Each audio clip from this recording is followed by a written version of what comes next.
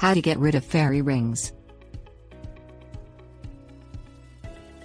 Fairy rings mushrooms that grow in a circle in the lawn aren't created by fairies, but by a group of fungi known as Basidiomycetes.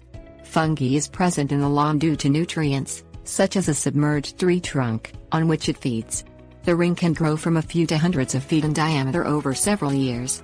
The main part of the fungus isn't the mushroom on the surface, but a buried mass known as mycelium.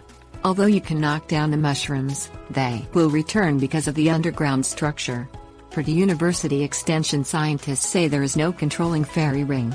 Your choices are to dig up the offending ring or make the ring less visible with proper lawn care. Things you will need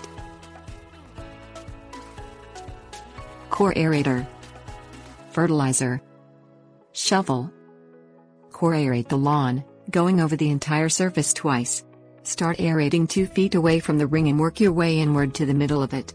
This helps break up fungal masses on the surface and allows water and fertilizer to penetrate to the grass roots. Remove the cores from the lawn. When finished, water the lawn as you normally do.